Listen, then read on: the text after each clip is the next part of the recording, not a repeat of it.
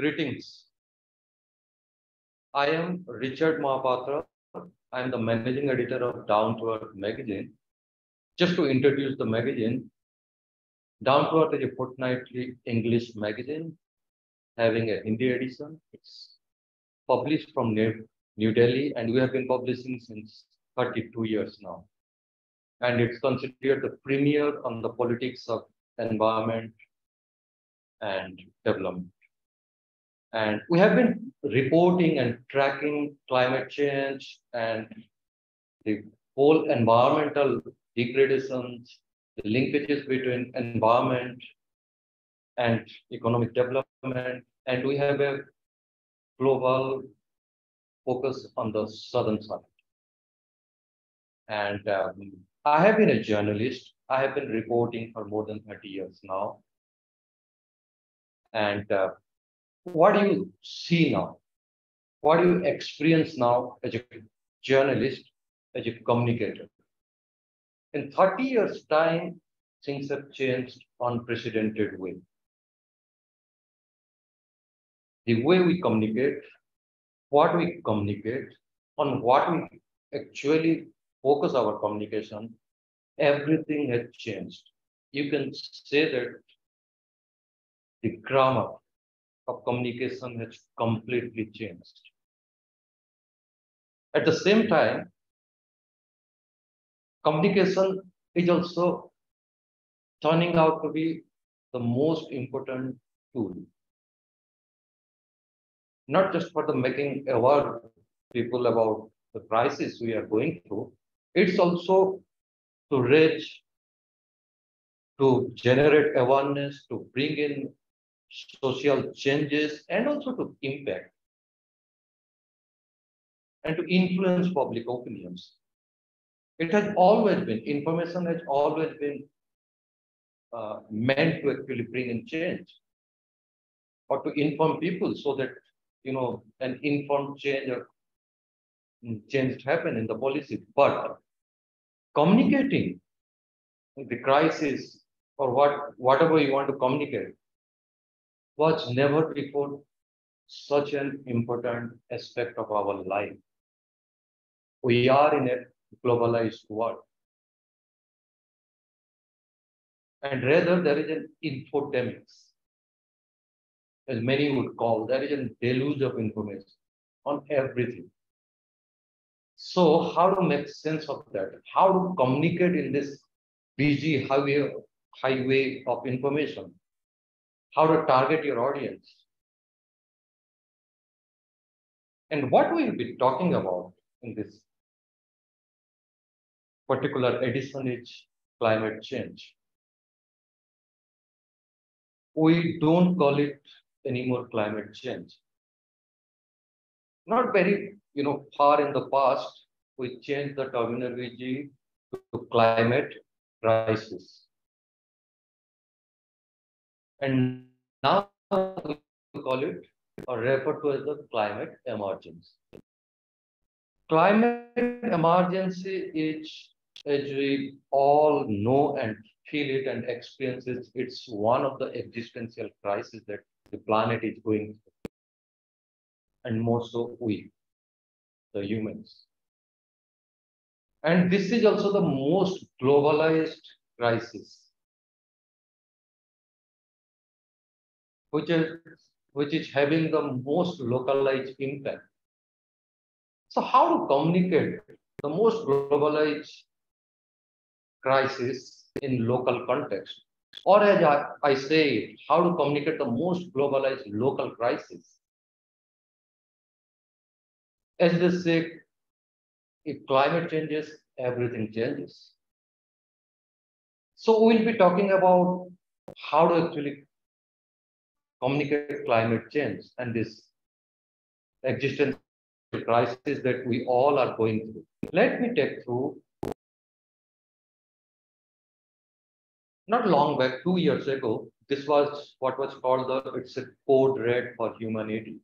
And uh, the head of United Nations had this statement to make.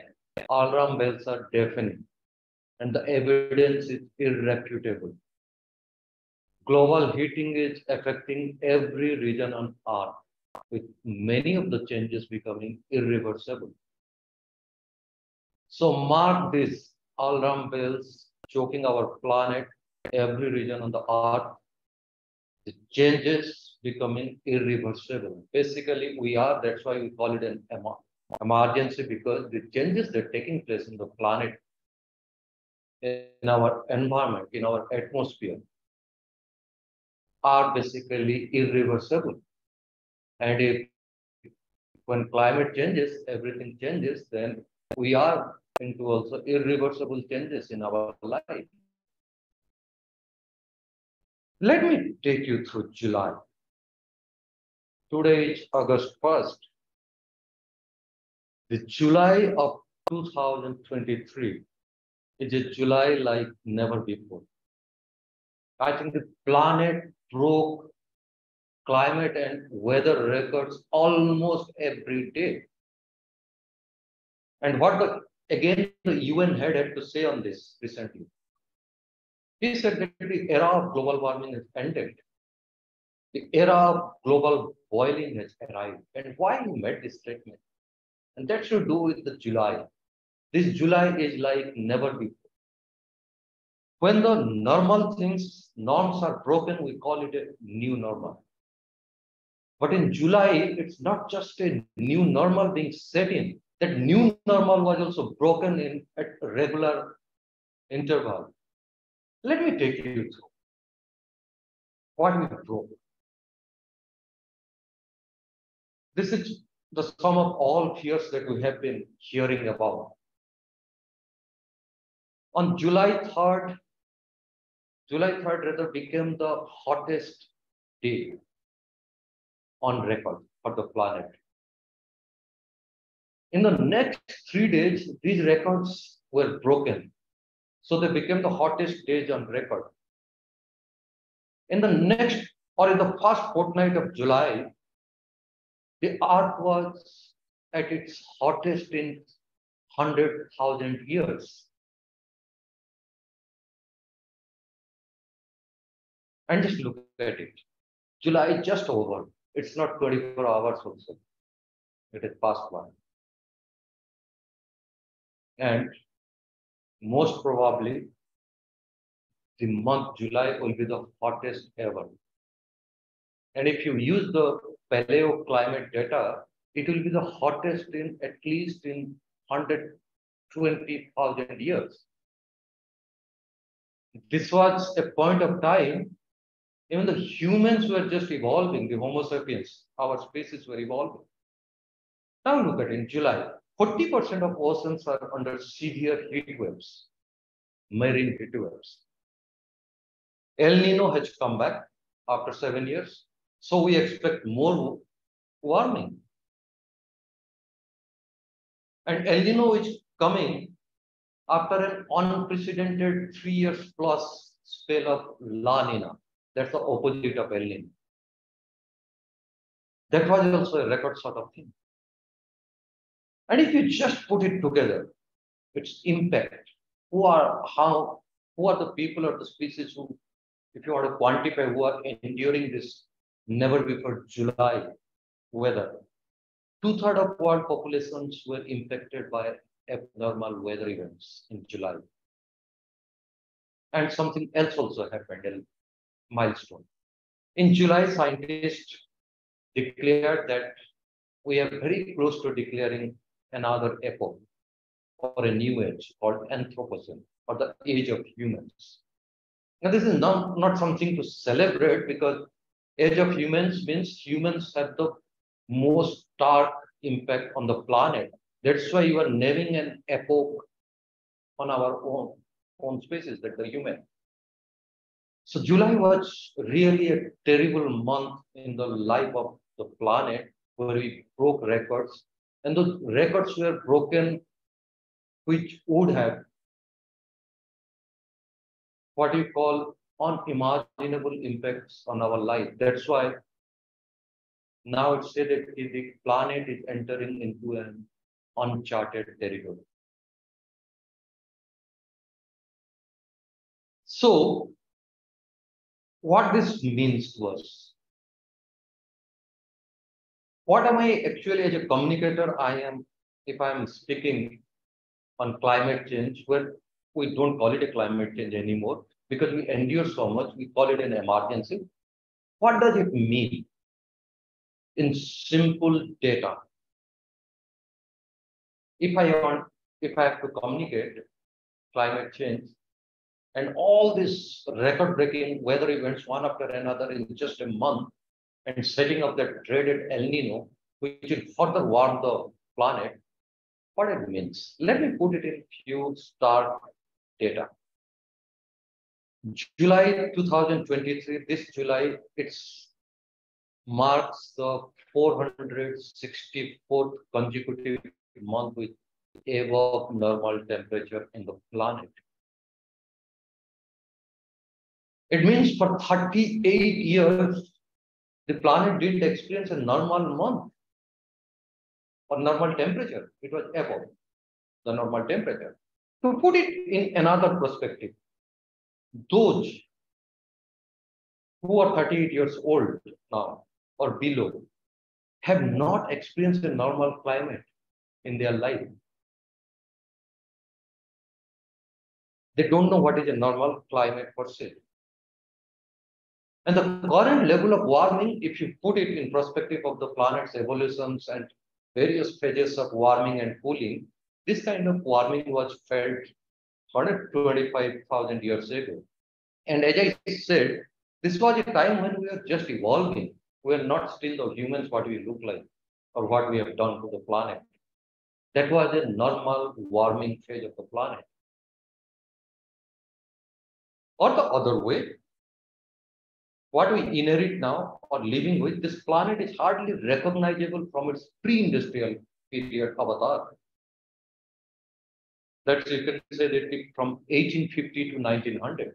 That's the pre-industrial uh, phase, which is basically used to calculate all the temperature rise and all the other climatic benchmarks are set based on this. Because we believe that industrial revolution started the human-induced warming of the planet. So it just means a planet which might be 5 billion years going through naturally phases of climate changes, it just took one species just 122 years to alter the planet's climate, which is no more recognizable. And it means we have a new planet. New norms were set by us, by our, our activities. We are just leaving that 12,000 years old Holocene age, and we are entering into a new epoch that's called the Anthropocene. And in this age of human, what have we done? 83% of all wild mammals and 50 percent of all plants have been impacted or pushed into extinctions by human activities. Humans are now responsible for altering 75% of land-based environment and 66% of the marine ecology. So nature provides us many services. That's why we exist. And scientists have this says that in nature has 18 contributions that make us or make us alive or sustain us. Without those, we might not be actually alive or we might not be sustainable. But they say that if the way we have altered, altered the planet, so the nature have failed to or is failing to perform 80% of the services. And immediately after that, if you look at it, what it means to us in the contemporary time, in the next seven years or in 2030, we have some promises to keep, that is the Sustainable Development Goals. This planet that we have altered, the nature that we have altered, the new normal that we have created, will ensure that 80% of the sustainable development targets, goal targets, will not be met due to the biodiversity loss humans are responsible for. So this is the state of affairs. This is what we call the, we have entered into the uncharted territory. But what I communicate, how I will communicate this crisis, it's a planetary crisis. It's a multidimensional crisis. Carbon emitted barely 200 years ago is impacting our developments now. We'll not meet 80% of our sustainable development goal targets due to this change in the climate or biodiversity loss. That's I need to communicate. How to communicate this? It's not just that there is an infodemic. It's rather it is that uh, you know fabled planetary deluge of information. Look at this: 500 pages of data and technical data in just two IPCC reports. IPCC reports are the statement on the state of climate. And they are 5,000 pages. In 2022, 10,000 documents on climate change were peer reviewed or circulated. Just on the Google search, you have 2 billion searches specific to climate change. Over 43,000 weather events in 220 countries. And those are the countries that are reporting change in the climate change. So this is the scale of crisis which we are attempting to communicate. And we plan to communicate to have an impact, to take our messages. How to do this in this humongous world of information? Each of us is a communicator. Each of our communication is a target, is a purpose. How to do that?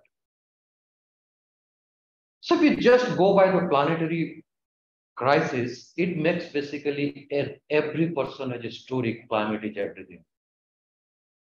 So it makes our job of communicating the crisis also very individualized. So it's a basically experiences of 8 billion plus people because everybody is a victim of climate. Everybody has a story to tell of their endurance, of their experience with climate change. So it makes communications basically a big challenge. So let's enter into the next part of it. There are certain things in the communications, particularly communicating the climate change, the climate events, the phenomenon like El Nino, La Nina, and this chain of broken records. Remember, the science is very definitive. Climate change is definitive, but its articulation is political. That the first principle or the framework under which we have to communicate. Science is very clear, definitive. The planet is warming, there is no doubt about it. But why I say articulation is political? It's political because every year we see the whole world is busy negotiating who should reduce emissions, who should compensate the um, uh, countries impacted by climate change or weather disaster induced by global warming. Those are the political decisions. Many countries don't recognize climate change, even though they are historically the biggest emitter. And that's a political issue. That's why climate change is the most political subject now. As communicator, we artificially present it as a technical and dispassionate inquiry. That's a disjoint. If climate changes, everything changes, and everybody on the planet is a climate victim, you cannot tell it a story, a story or communicate it on a just a technical narrative on how much temperature will go, how much carbon should be emitted, what is the carbon budget. We cannot have that scientific dispassionate inquiry. The whole scientific definitiveness about climate change must be translated or communicated, must be communicated into the context of individual day-to-day -day life or to our life. It's a human story. And people make always human decisions. I migrate out, facing disaster after disaster. I make a human decision. I make, I make a survival decision. Our ancestors 80,000 years ago made a decision to migrate out of Africa. That was a human decision. That time also there was climatic event that forced them. Currently also we are having the same thing. Politics deal with human decisions and it does a story everything in our domain. So that's the, another connect.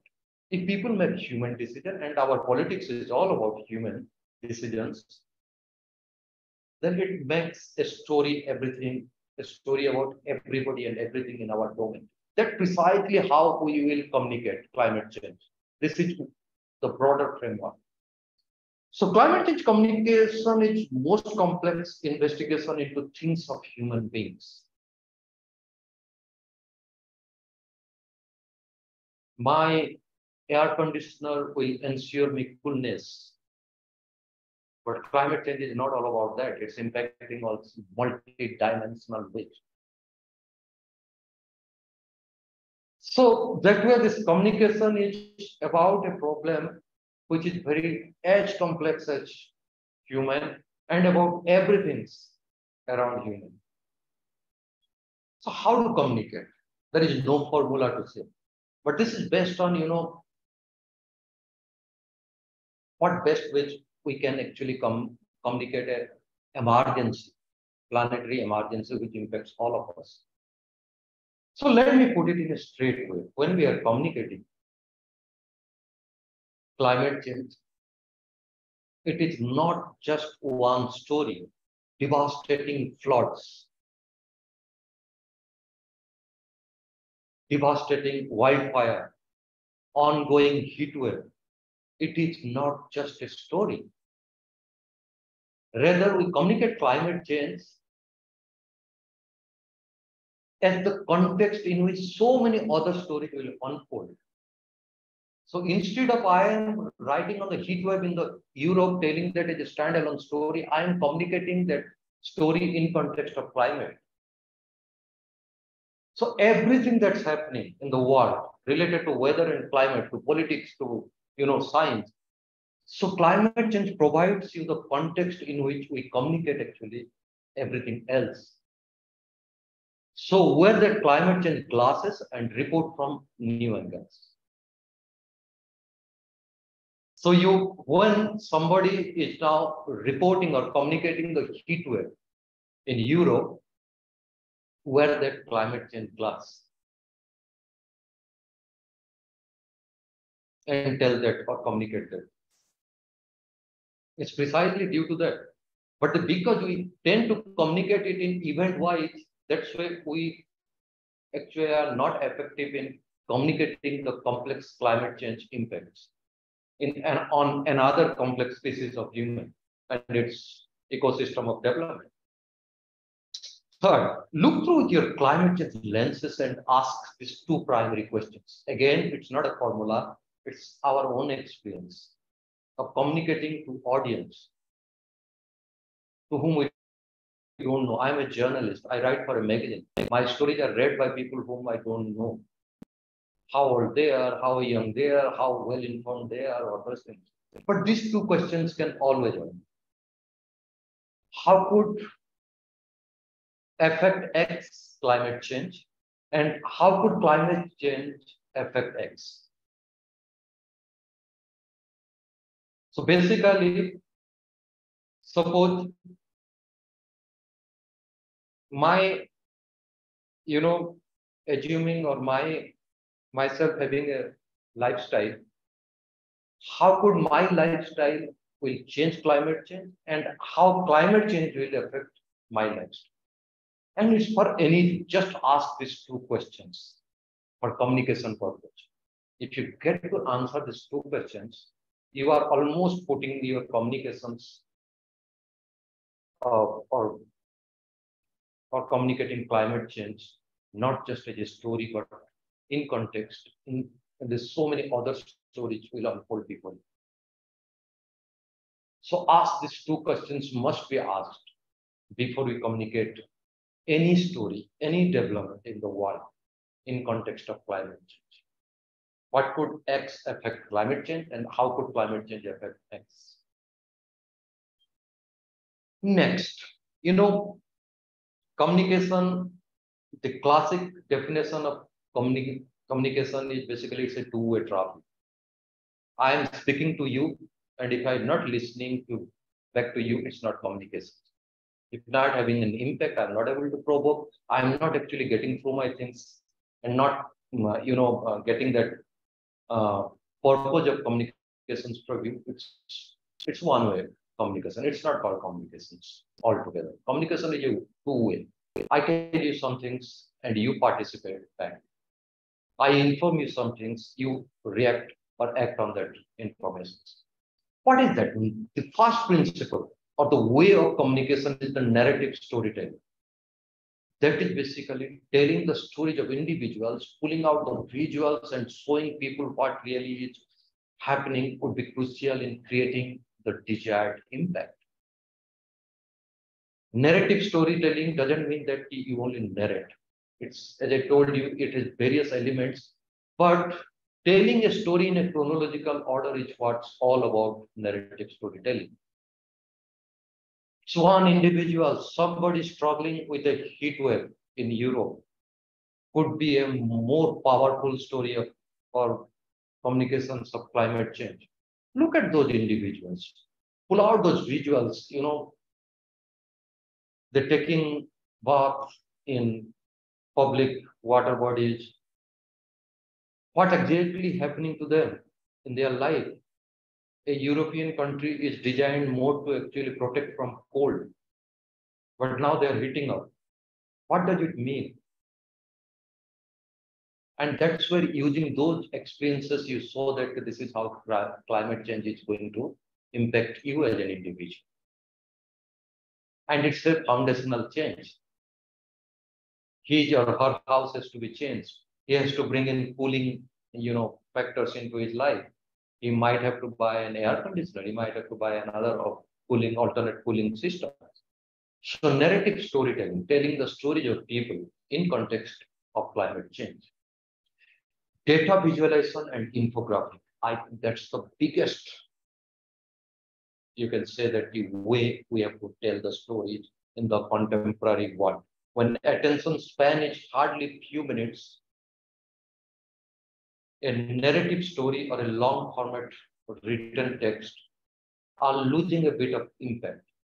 Rather, people want one stark way of telling you or communicating so that I get it immediately in two minutes, one minute, just at a glance. And that's why the data visualization and infographics are coming out as the biggest tool of telling a story or communications. Third, stories should be mobile friendly and easily shareable on social media. Remember, nearly 90% of information consumption is happening through mobile platforms. Our mobile phone is no more a phoning agent or an instrument. It's our biggest instrument communication. So anything that we communicate, it has to be mobile friendly, has to be created according to your mobile platforms, like somebody actually reading it in this space and giving just that two minutes of span, and you are targeting your communication to have an impact in that two minutes. Just imagine how effectively you have to communicate. And this communication is possible only through data visualizations and infographics, basically telling the same story through data visualized in such a certain way and also uh, presented certain way that the story is clearly delivered in for an audience which is time star. And you have your impact also. And social media. That's the biggest disseminator of information now. In fact, if you look at it, Facebook, Facebook would be the uh, mm, second largest mm, mm, populated republic after China or India. And those are organized. People are consuming more and more information through social media. Social media postings are having an impact in disseminating things in quickly disseminating things. So your communication has to be actually designed around these new things. Now coming back to the specific one that I told you, why data, data visualization. You can say that currently we actually communicate in data. When your attention span is less than two minutes, when your uh, consumption platforms in which you consume news or information is less than six centimeter or this mobile phone screen, you communicate in data. So what? What data sometimes you know looks boring, you know, intimidating, but it's powerful also. Just look at it, the data. You know, 1.5 degrees centigrade is the currently it's one data that the whole world is. That's all about climate emergency. The whole world, the planet is warming and almost reaching to the point of 1.5 degree. And we have agreed that we should keep it below that. Otherwise, we'll have all the problems. Isn't it so sounds very boring? 1.5 degree looks very insignificant. And just look at it. That down to just did a analysis of data since 1940 we have breached this 1.5 degree climate limit 279 times is it doesn't it sound very insignificant and telling, and I have to tell the story of 1.5 degree as an emergency. So now let's unbundle. How to actually unbundle a data and how to use a data point to actually communicate. A deadly, boring, technical one data set can actually be unbundled and could be communicated. So what does it mean? we have not reached to the point of 1.5 degree, but the planet will, for the first time, see landmass in polar regions. It's warming so much that polar regions are melting. Arctic, first time we are looking at landmass. New seasons are being added to the planet. Both in Antarctica and Arctic, they are getting new seasons. And in many other places, it's less than 1.5 degree warming. Now just look at that boring data when it's being calculated or visualized or put it in context. It looks so relatable and impactful also. So it means 3 billion people will live in heat stress currently, today. Two-thirds of world populations are living right now in an extreme weather event situation. And in just 100 years, will exit the livable window of climate change, remember. That's how you can unbundle data and can tell stories around it. So just look at it, 1.5 degrees, one data, and on your screen, you have five points. That's the power of a data-driven communications. So these five points, along with the visualize 1.5 degree, one simple postcard, will be a powerful tool of communications to tell you. It means that my next to next generations will just give them a planet which is not livable. Or you live in heat, heat stress. We'll have new seasons. My spring, your summer, your winter, my rain, everything gone. They'll have new character. That's how basically data can be powerful if it unbundled, visualized, and the messages are targeted around that. Now we call it the paradox marching before another line of this. You know, how if you just look at the data and how the impact of climate change can be told through dead, boring, you know, what you call the cold statistics. One historical change has happened in just in four, five years of our life. You know, most earlier, most of the people were displaced internally or even the refugee side also the migrating to other countries were by conflict and war traditionally. That historical change has happened now. Disaster actually displaced more people than war and conflicts. That's a change in our living history, milestone. And that's all about that 1.5 degree and what it means to us. More and more people are living and migrating. Now there is an immigration crisis within a country also among between countries also. Between within a continent also, then between two continents also. What do you call this? The biggest politically sense, I think the political challenge or the issue is immigration. So climate change is at the center of it. Now this is a basically to a map to show that you know the on the top of uh, in 2020, if you look at it, due to conflicts, how many people in the top uh, map in the world, and the below is basically due to disasters. So the dots you can see it. Disasters are striking across continents, across the planet, displacing more people than the conflicts. Now this is, I'll run through How, what visualization can do to you, and if you want to communicate. You know, tons of scientific researches have been done to tell you that we need certain temperature to live, to grow in this planet. What we call the climate suitability.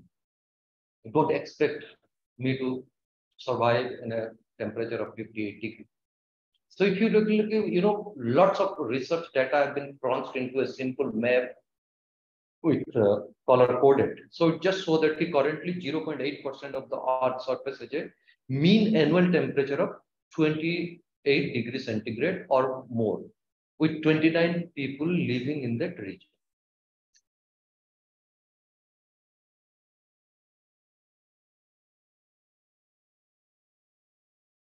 So if you look at it in the color wise, I think suitability is very high. With just this black dot showing up, the suitability is not there for, you know, uh, habitations and human existence kind of things. Now, just to look at it, 2017, what it looked like. The black areas have expanded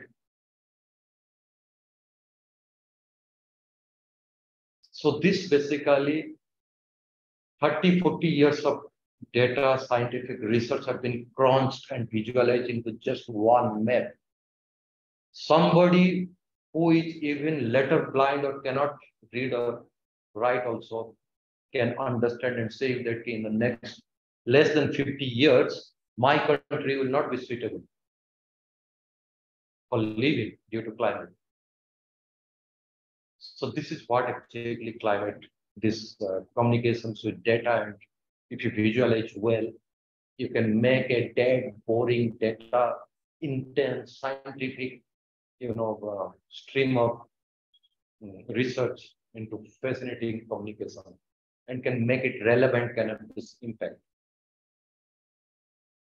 Now, the, what are the trends actually happening? and why we are insisting or emphasizing on communication and in certain ways. You know, the classic examples eh, for a journalist, old journalist like me, is that, he, you know, you write a story in text, but one photograph speaks actually 1000 words.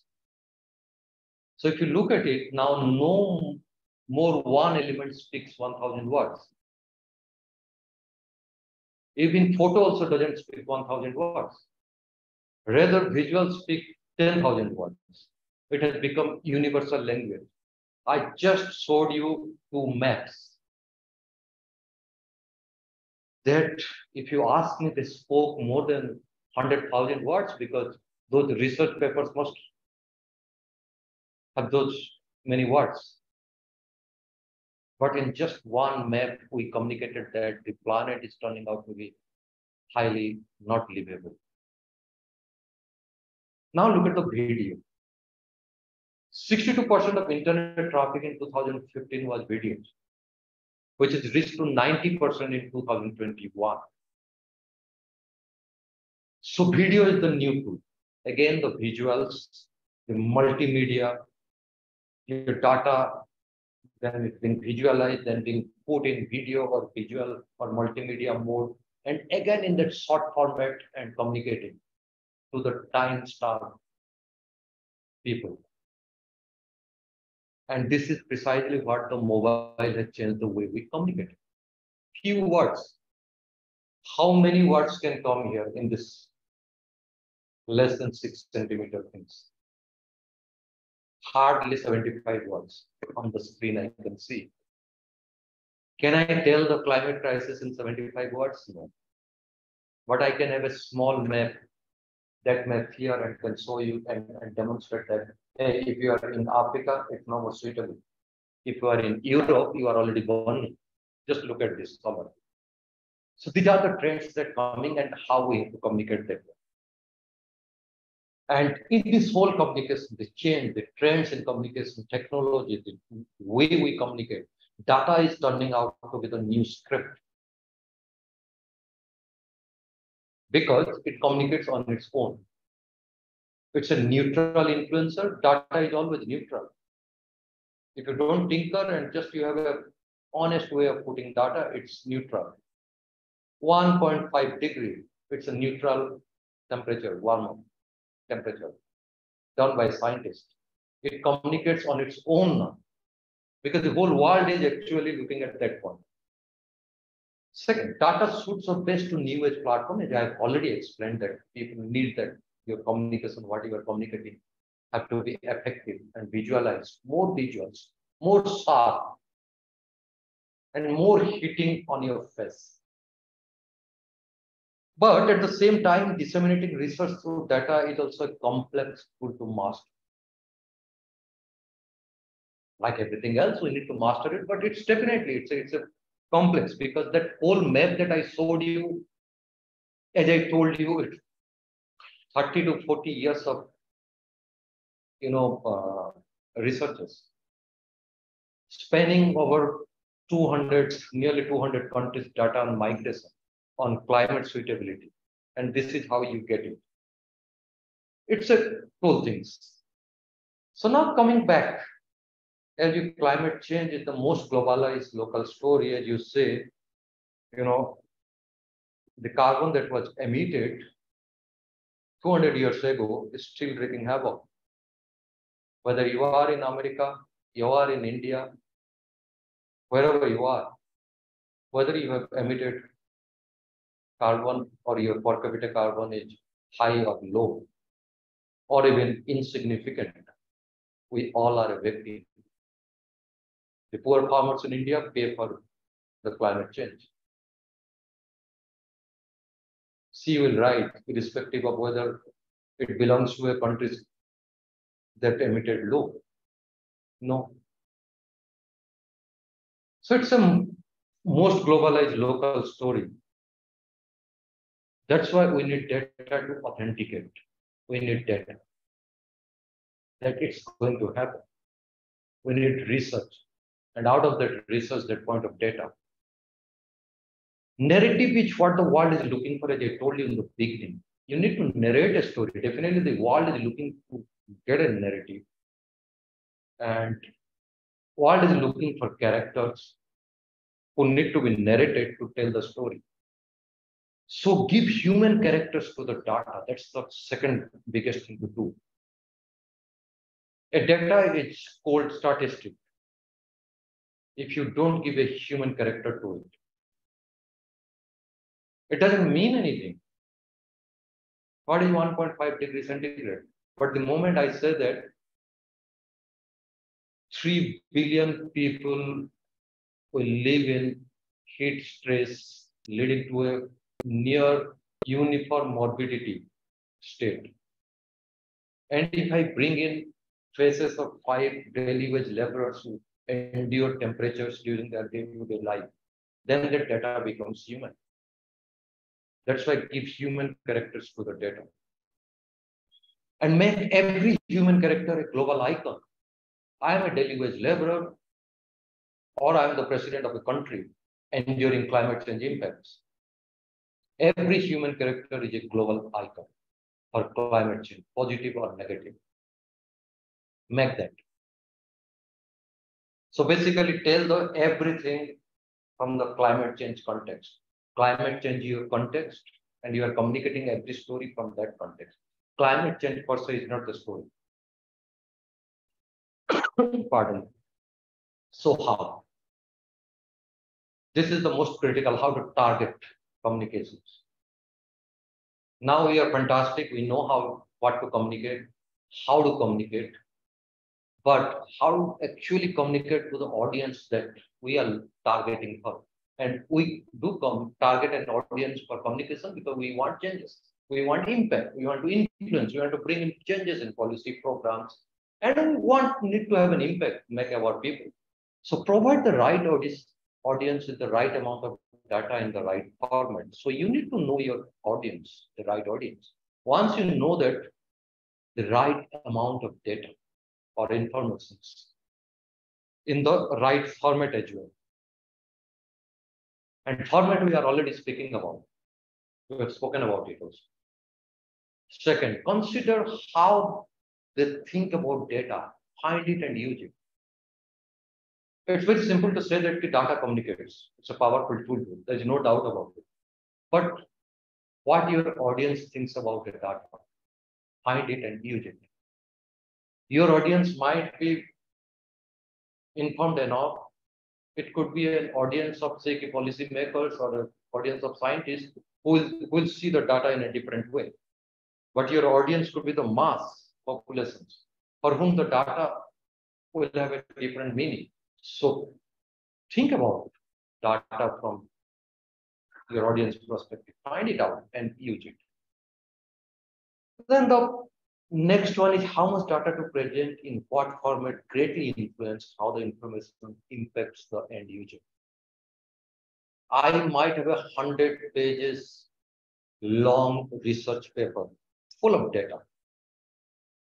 But which data and how much data and in which format Based on that research, I have to communicate that you have to decide. Not all of people will read the 100 pages scientific studies that you might have commissioned, you might have done. But you need that change. Want to influence your research. Want to influence using your research. So how much data to present in what format greatly influence how the information impact the end user. So basically, I might be a scientist, I'm a journalist, I'm a researcher, I'm a policymaker. I might have tons of great knowledge, but I need to do this fast to know that. The end user is always for whom we communicate. So that's the audience, that's the target, and that decides which format and how much. So be strategic, have a plan for how you will deliver data-driven research articles. There is no formula to it, but strategic about what? Your audience, the audience preference, and all these things. So have a plan. So be strategic about your audience, have a plan how you deliver your data-driven research and articles, and in which format and in which quantity. You don't have to have a large organization or budget to tell data-driven research effectively. That's very sure about it because we have plenty of you know organized platforms that on which we communicate. And uh, you know the tools are really it's a day-to-day -day tool for us, like your editing tools or your you know the phone itself, the normal editing you know softwares and all these things. But you have to be strategic about gathering, exploring, visualizing, and contextualizing your data. So if you put it in one sentence, this communications in a new time or communicating a new crisis, so it has to be this sentence that strategic about gathering, exploring, visualizing, and contextualizing your data. I think that's how you have to put your, this is how the formula of the whole process of uh, communication has to go through this process. And thank you very much for this. For any queries, put me a note and I'll be more than happy to answer you. So it puts basically communication at the core of this crisis of making aware about this emergency situation that we are going through. Thank you.